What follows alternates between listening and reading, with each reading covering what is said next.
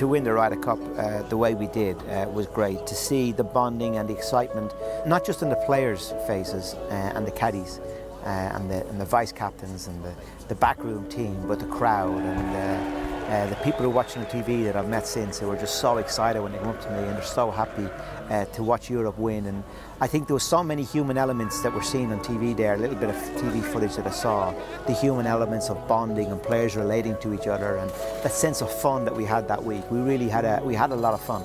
We kept that element of fun. We did it all with a smile on our face.